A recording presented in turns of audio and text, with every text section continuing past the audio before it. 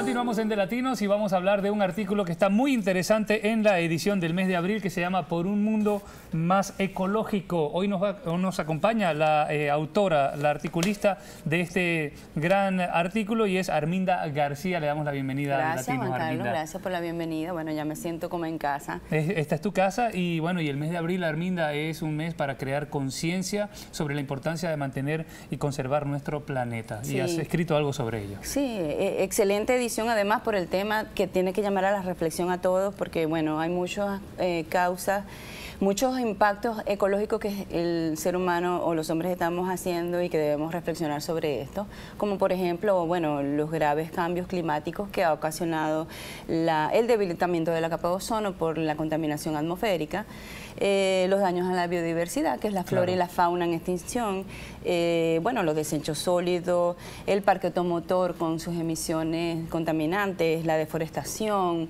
muchos problemas que debemos pues mm, actuar para poder resolverlos a tiempo.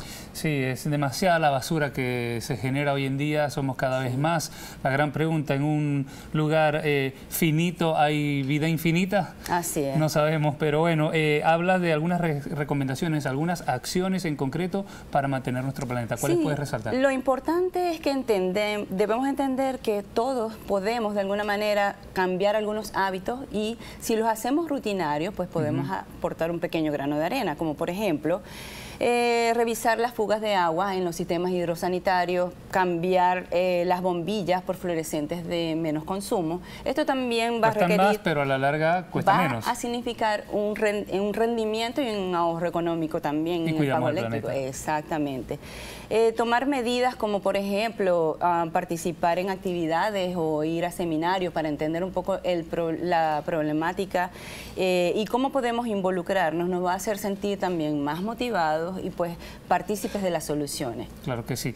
Bueno, el latinoamericano por costumbre y cultura no tenemos arraigada esa, esa conciencia del reciclaje. En Estados Unidos eh, las cosas cambian un poco, pero como que nos cuesta un poco entender y ponerlo en práctica. Así es. Bueno, sí, lo importante es que entendamos que con estos pequeños cambios de nuestra conducta, de nuestra actitud, eh, podemos generar cambios en el planeta y en el consumo este, irracional que hacemos de los recursos eh, naturales.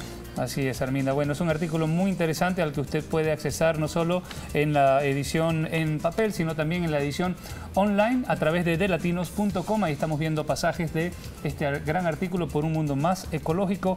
Arminda García es la autora de este artículo y gracias por haber estado con nosotros. Gracias a ustedes por la invitación. La verdad es una problemática que debe llamarnos a la reflexión y que debemos pensar cuál es el planeta que le vamos a dejar a nuestros hijos en las generaciones futuras para actuar a tiempo todavía estamos a tiempo. Una forma de pensar también en los demás y, no ser egoístas. Así es. Así que bueno, Arminda, será hasta una nueva oportunidad. Gracias, a ustedes. Y bueno, disfruten la revista que está excelente. Está excelente, de Latinos en su edición online, la puede accesar desde cualquier parte del mundo. Con esta información continuamos con más aquí en De Latinos.